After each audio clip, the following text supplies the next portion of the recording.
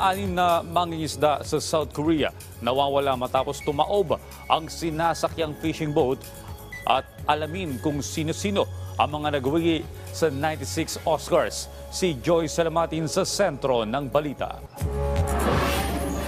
Anim ang nawawala matapos tumaob ang isang fishing boat sa South Korea. Ayon sa mga otoridad, tumaob ang barko sa katimugang baybayin ng Tongyong noong Sabado.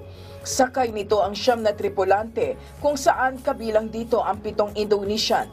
Ayon sa Korea Coast Guard, tatlo pa lang ang kanilang naililigtas, ngunit lahat ng ito ay walang malay.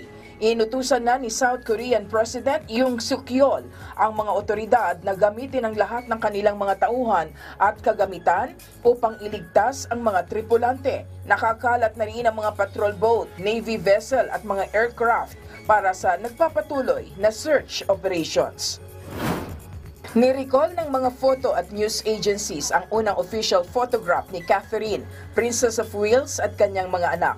Kasunod ito ng abdominal surgery ni Princess Catherine dahil manipulated umano ang nasabing larawan.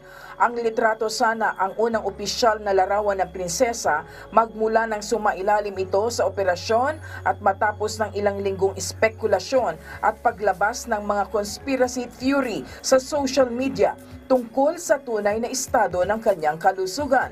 Ang imahe ay inilabas na may mensahe mula sa prinsesa na nagpapasalamat sa publiko para sa suporta nito habang ipinagdiriwang ang Mother's Day sa United Kingdom.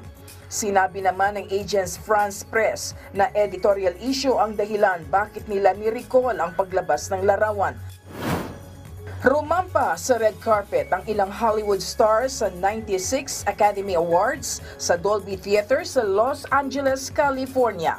Wagi bilang Best Actor si Cillian Murphy para sa pelikulang Oppenheimer, habang nanalo naman bilang Best Actress si Emma Stone para sa pelikulang Poor Things.